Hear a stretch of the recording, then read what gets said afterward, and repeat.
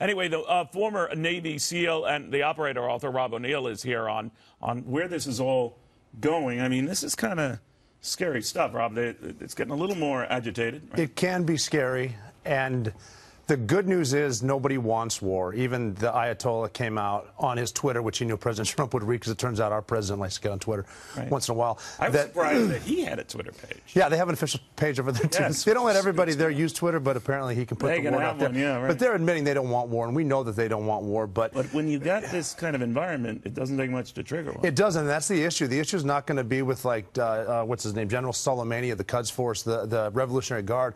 The problem could be when we, because we've got a lot of ships over there. There's a strike group. There's a, the 22nd uh, Marine Expeditionary Units over there with the, with the Kearsarge, which is an amphib uh, ready group.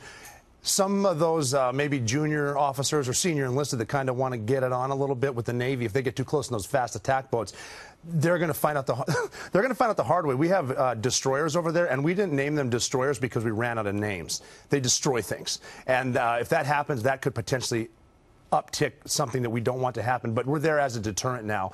Um, we, you know, th this is a, a normal um, deployment for the uh, the carrier group, the the Lincoln, but they uh, they pushed it forward to, to, to the to Fifth Fleet over in the uh, the Persian Gulf because now it's time to deter. Uh, nothing, nothing is as scary as having a carrier off your coast. Yeah, that would unnerve me a little bit. You know, we had uh, your old commander on McRaven on yesterday, um, and he was talking about the Iranians. It wouldn't be surprised. He had 40 years of dealing with them, knows what he's dealing with, and doesn't think this will come to blows here because the, the Iranians might be reckless, but they're smart enough. Yeah, and yeah, and we're talking to Admiral McRaven. You're talking to someone who's probably the smartest guy in the room, and he knows that we've been, and he personally dealt with them for decades as well. We've been dealing with them, and, and that's the thing that you know they are uh, they are radical. The leadership is, and, and the mullahs, but they are smart. They've been doing it for a while. They know what they can get away with. They know how um, a lot of our politicians and a lot of our public feels having gone to war in Iraq, in Afghanistan, still both places still going into right. Syria. We're not eager to get. But he did say, you know, sometimes you'll get a difference of opinion within a president's staff. He was obviously alluding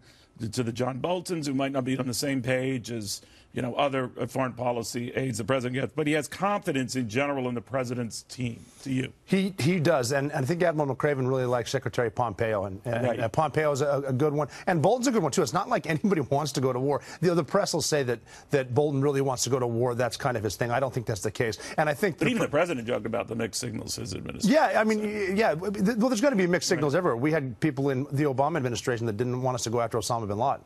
Uh, oh, by the way, I, now that you're here and you're the guy who took that guy out.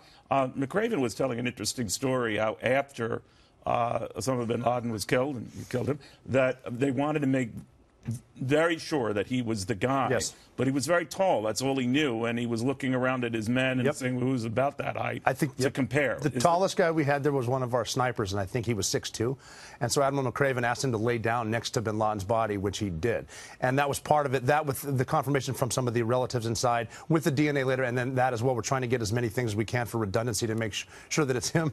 But uh, one of the plaques that President Obama gave to Admiral McRaven had a tape measure on it. Just to make yeah, just like in case you ever need one again. But, know, but, it was interesting. You knew, though, right? I mean, when when when you stormed into that house, I mean, you, you had no doubt. Why, why did you? I knew that for bin Laden, I, I was sure simply because of the three letter agency people. There was a group of women that found him and just how confident they were. And they turned out to be, one woman in particular, 100% right about 100% of the people inside. She knew where Khalid would be. She knew where. She, she was so frustrated saying, um, if you want a shot at Osama bin Laden, he's in, on the third floor of this house right now. I don't understand why we're not leaving. But I was sure going in, I was sure when I saw him. When I saw him standing up on two feet, I recognized his nose. I, re I recognized his beard was shorter and white. But that was no doubt in my mind when I shot him, and then it sunk in about four seconds later that we just got Osama bin Laden. And you also told me that in the case of the one helicopter that crashed near the compound, they certainly would have had to hear that. They knew yeah. something was up, right? Yeah, the, inside they were sure. And even if you read Amal bin Laden, who's the youngest wife, right. she has a she has a um, uh, on the record report of what happened from her end, and it's the same as mine. And I guess he was saying to her, he being bin Laden, that uh, um, they're here for me. Uh, so he was trying to get her to leave or whatever. She was she was there when we went up there, but yeah, uh, they had to know we were there. We listened to a phone call one time between the two brothers. There were his couriers. Uh, the cell phone call they had right before my guys killed them engaged and killed them. You know, they shot at us too.